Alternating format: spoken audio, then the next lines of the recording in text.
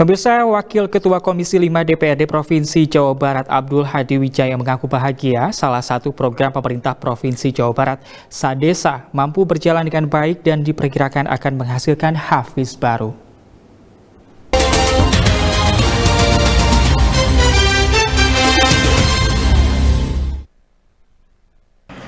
Wakil Ketua Komisi 5 DPR Provinsi Jawa Barat Abdul Hadi Wijaya mengaku bahagia salah satu program pemerintah Provinsi Jawa Barat Sadesa mampu berjalan dengan baik dan diperkirakan akan menghasilkan ribuan hafiz baru. Abdul Hadi Wijaya pun berharap dan menitipkan pesan kepada para pengajar melalui program Sadesa ini agar ke depannya dapat dimanfaatkan semaksimal mungkin dan melahirkan para hafiz yang memiliki budi pekerti dan berakhlak baik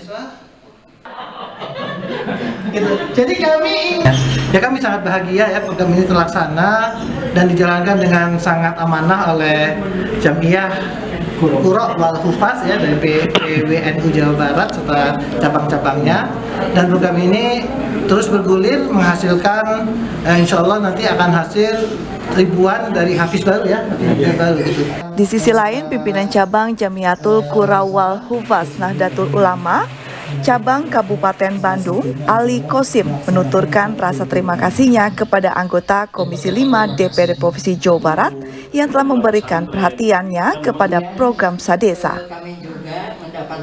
Kami atas nama pengurus PWJD Jawa Barat mengucapkan terima kasih yang sebesar-besarnya kepada seluruh anggota Dewan, khususnya Komisi 5 yang berkunjung kepada PWJD HNU harapan kami melalui Komisi 5 kami berharap program Sadesa tahun depan dan tahun-tahun berikutnya bisa menjadi lebih baik. Humas DPD Provinsi Jawa Barat melaporkan.